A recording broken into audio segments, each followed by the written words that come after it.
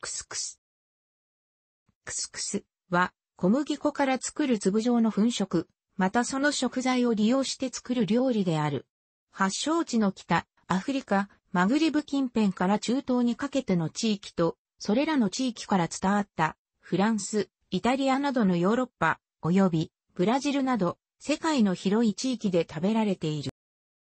硬質小麦の一種であるデュラム小麦、トリティクムデュルムの粗挽き粉に水を含ませ、調理後の大きさが約 1mm 台の小さな粒になるように丸めて、そぼろ状にしたものである。またその粒を主食とし、肉やスープ類と共に食べる料理を総称して、クスクスと呼ぶ場合もある。本校では、粒のクスクスをクスクス粒、フランス語でスムールとも言うが、わかりやすいように項を書く、料理としてのクスクスをクスクス料理と表記する。マグリブ地域の重要な料理であり、アルジェリアでは、ターム、ティエアム、食べ物と呼ばれるほど常食されている。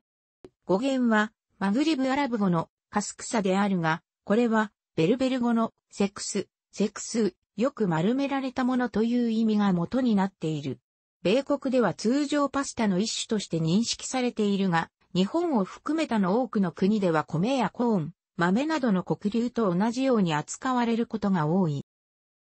北アフリカもしくはその北側のシチリアで発祥したと考えられているクスクスは、シチリアやサルデーニャの伝統料理でもあり、現在ではフランスや中東の一部でも食べられる。アフリカのガーナ、セネガル、カーボベルデやブラジルにも独自のクスクス料理がある。日本でも一部にクスクス料理のレストランがあるほか、輸入食材店などでクスクス粒やハリッサを購入するとが可能である。クスクス粒の伝統的な作り方は、デュラム小麦の粉に水を振りかけて、指でもみ、小さな粒にしてからふるいにかけて、粒の大きさを揃える。クスクス粒は一般に乾燥状態で売られており、粒の大きさによっていくつかの種類に分けられる。マグリブ諸国、諸地域において様々な呼び名があるが、アルジェリアでは、大粒のものは、ベルココースと呼び結婚式や祭りで食べ、中流はクスクス、小粒のものは、ムハムサと呼ぶ。甘いデザート用のは、メス夫婦と、アルジェリアやチュニジアでは呼ばれる。一般に、粒の細かいものが高級とされ、高級フランス料理のレストランなどでクスクス粒が用いられる場合は、大抵は粒の細かいものを用いる。最近は一般のクスクス料理のレストランでも最流のものを用いることが増えている。マグリブ県の一般家庭や本格的なマグリブ料理のレストランでは伝統に従ってセモリナ小麦粉を手で丸めて手作りすることもある。クスクス粒はセモリナ小麦粉のほか、大麦やはトウモロコシ、どんぐりの粉でも作られる。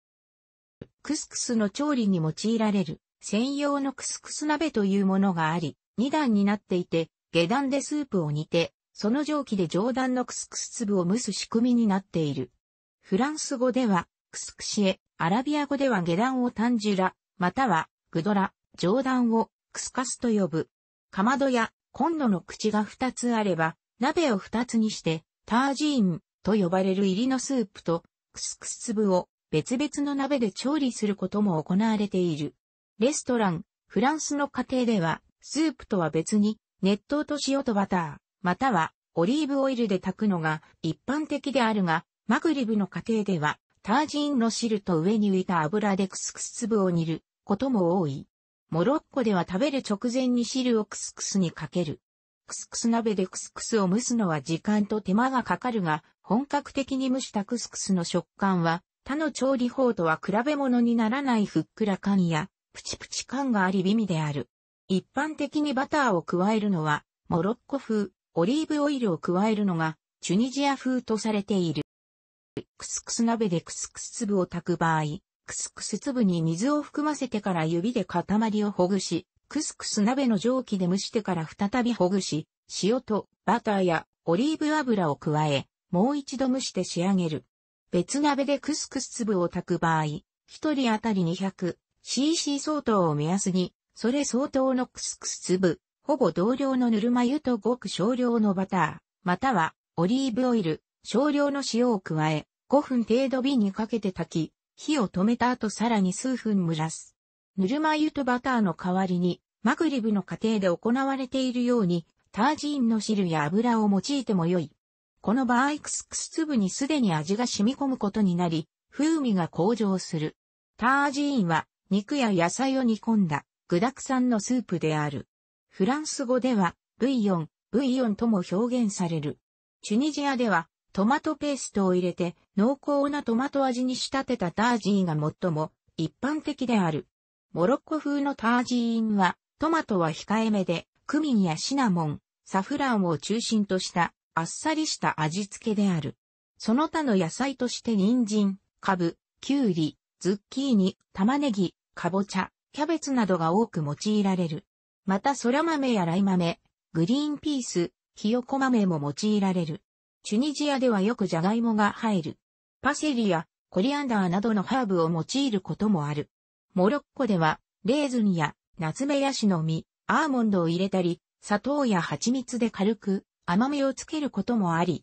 モアヤンアトラス山脈のベルベル人は、タージーンに牛乳やクリームを加えることもある。また、蒸したクスクスの上にバターとドライフルーツを乗せ、シナモンを振りかけた甘いクスクスが主菜とデザートの間に供されることがある。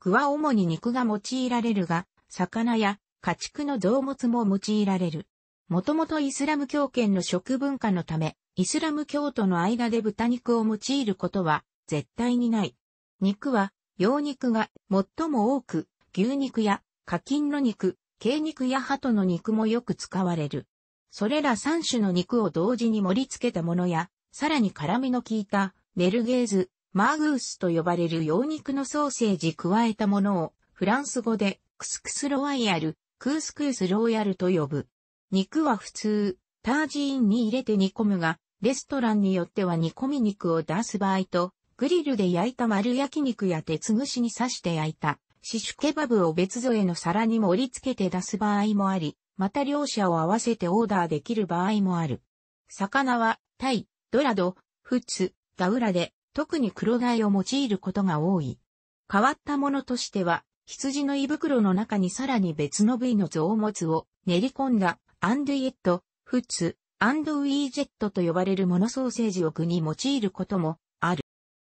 調味料としては、唐辛子ペーストにオリーブ油などを加え、クミン、コリアンダー、ニンニクなどを加えて味を整えたチュニジアの唐辛子ソース、ハリッサ、ハリッサが用いられることがあり、特にチュニジアとフランスで一般的である。一般家庭ではタージーンを煮込む際にすでにこのハリッサで調味することもあるが、レストランでは普通はテーブルに配膳された段階で各自が好みで適量を加えて食べる。マグリブの多くの国では公用語としてフランス語が話されているために、H が無声音になり、アリッサと呼ばれる。またレモンやオリーブの塩漬けや青唐辛子のピクルスを添えることも多く、ハリッサの代わりに青唐辛子で辛みを補う食べ方も一般的である。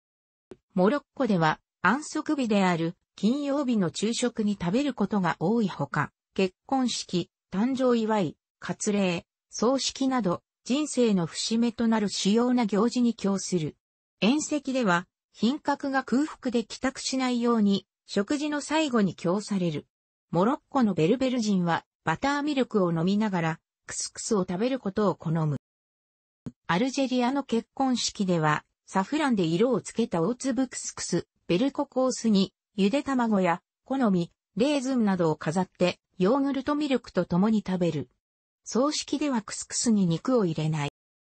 またカビリーの村では、アーシューラーのお祭りで地域の聖者病にお参りするが、その際病で、クスクスが地域の女性により振る舞われる。また、子供たちは歌を歌って、家々を回り、甘いクレープやお菓子をもらう。クスクスよりも大粒のマフトゥールと呼ばれるパスタを用いたムグラビーヤという料理があり、鶏肉と羊肉、ひよこ豆を煮込んでから茹でたマフトゥールを加え仕上げる。マグリブの料理という名称からマグリブのクスクスに由来する料理であることがわかる。マグリブ風のクスクス料理のほか、ミートボール、クフタの付け合わせ、また、ナッツと砂糖をかけたデザートとして食べる。マグリブ出身のセファルディムの食文化の影響で、マグリブ風のクスクスは人気が高い。このほか、プティティムと呼ばれるイスラエル独特のクスクスがある。プティティムはジャイアントクスクス、イスラエルクスクス、エルサレムクスクスとも呼ばれる。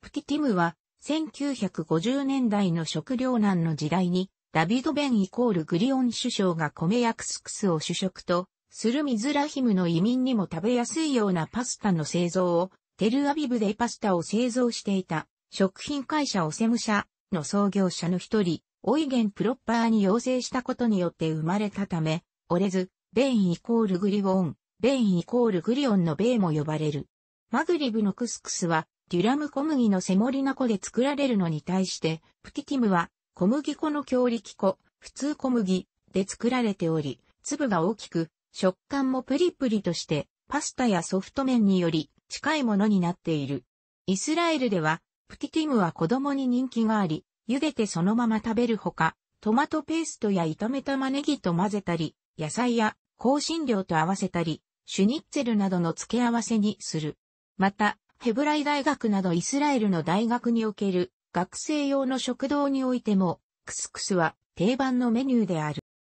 プティティムはムグラビーヤとも呼ばれる。また、イスラエルでは、プティティムオクスクスとは誰も呼ばない。フランスは、マグリーブ地域を植民地として支配していった歴史がある影響で、食材として頻繁にクスクスを用いるほか、クスクス料理を供するマグリブのレストランも多く存在する。一般的なクスクス料理のレストランでは、クスクス粒とタージーンがそれぞれ大皿に盛り付けられる。多人数で食べる場合、クスクス粒とタージーンを取り分けることになる。個人用の皿にクスクス粒を適量踊り、肉を盛り付けた上でスープをかけて食べる。大抵のクスクス料理店では、肉のおかわりは有料だが、クスクス粒及びタージーンのおかわりは無料で提供してくれことが多い。またフランス料理店では、肉料理などの付け合わせとして、クスクスが盛り付けられることがあり、プリンカップのような容器に入れて型抜きすることもある。その他、レバノン料理のタッブーレ、タブーリーに使われるブルグールをクスクスで応用した小さく刻んだトマトやキュウリ、パセリなどの生野菜と蒸したクスクスをレモン汁、オリーブオイル、塩、胡椒で和えたサラダ仕立てのタブレ、タブルも万人に好まれる料理であり、フランスの惣菜屋には必ずと言って良いほど並んでいる。日本でも最近は、ディーンデルーカや、成城石井などで惣菜として出している。フランス人は、クスクスと共にワインを飲むことが多く、好んで合わせるのはロゼワインである。マグリブ地域では、ロゼワインの産出が多く、特にチュニジアのグリと呼ばれるロゼワインは、すっきりした辛口で、トマトベースのクスクス料理と非常によく合い、フランス人に好まれている。またタージーンのまろやかな味ともよく合う。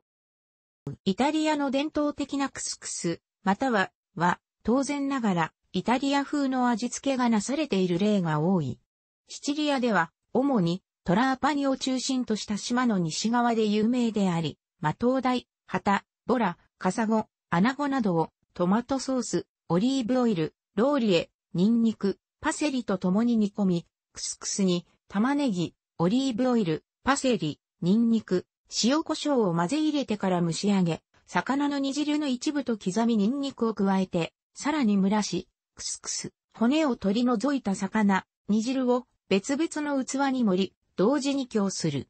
魚の煮汁を少量取って、オリーブ油と唐辛子を入れて温め、ハリッサに似たソースを作って添える。サルデーニャのカルロフォルテでは、ミートソースを混ぜたクスクスをプリモピアットとして供する。セロリ、人参、パセリ、玉ねぎのソフリットに、ローズマリーとセージでマリネした豚肉、牛肉、鶏肉を加えて炒め、赤ワイン、ブイヨン、クローブと共に煮込み、肉を粗くひいて、ミートソースを作る。サフランと塩を混ぜたクスクスをローリエと一緒に蒸し、ミートソースの一部と混ぜて味をつけ、食卓に運ぶ前にオリーブ油を混ぜて残りのミートソースをかける。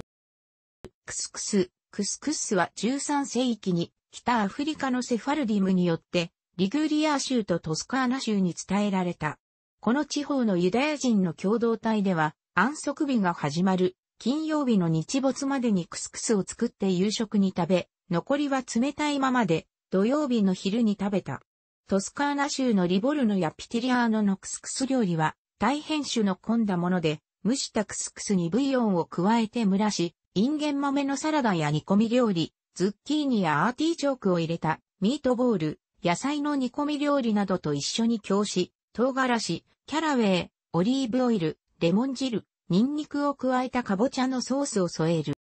ブラジルのクスクスは、クスクズ、カスキュズと呼ばれ、キャッサバとトウモロコシの粉を用いて作る。サンパウロを含む南東部では、魚介類、玉ねぎ、ニンニク、トマト、ピーマンなどでスープを作り、キャッサバとトウモロコシの粉を加えて炊き、オイルサーディン、エビ、ゆで卵の輪切り、オリーブ、ヤシの芽などを彩りよく使ってリング状の型に入れて抜いたものが有名である。北東部のクスクスは牛乳、卵、バターやチャルキを添え、もっとシンプルに食べる。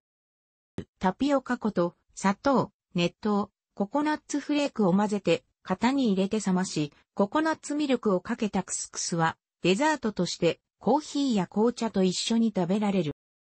お笑い芸人による偶然の発案であり、本来のクスクスの系譜とは異なるが、ほぼ同等の食品が日本国内で密かな人気を獲得している。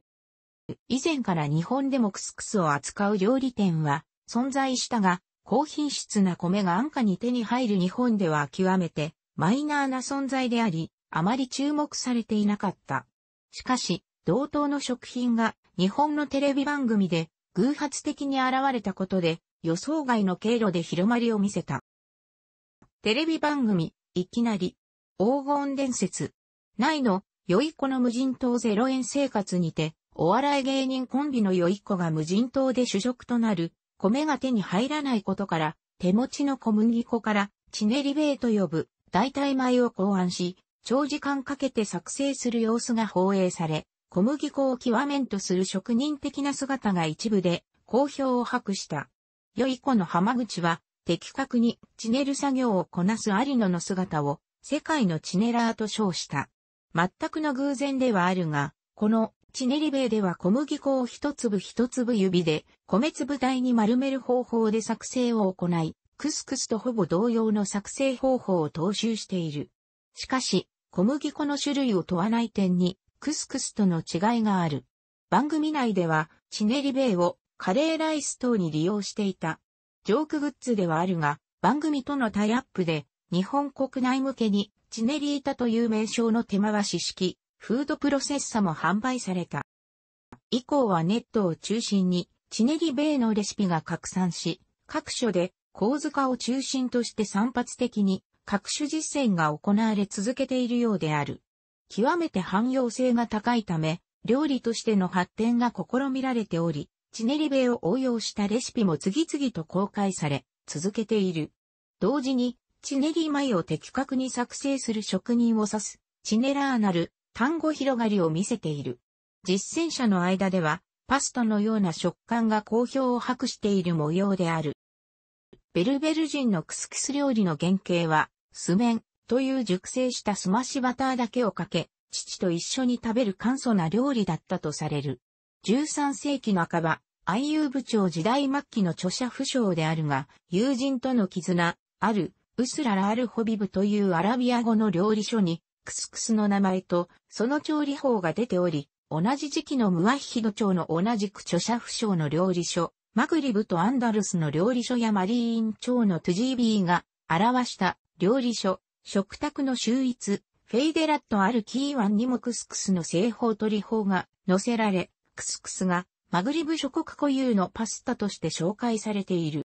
食卓の秀逸には粒状のパスタを3種類紹介している。クスクス、カスカス、アリの頭の形、フィダーシュ、フィダッシュ、小麦の形、ムハンマス、マハミス、胡椒の粒、これら3種がマグリブではフィダーシュと呼ばれていると説明している。調理法も上述の二段重ねの鍋を用い下の鍋へのタージーンの蒸気で上の鍋のクスクスを蒸す方法とタージーンの汁をクスクスに直接かけて、水分を吸収させる方法の二通りがすでに、これらの書物に書かれており、マグリブ地域で伝統的に最もよく食べられていたパスタであった。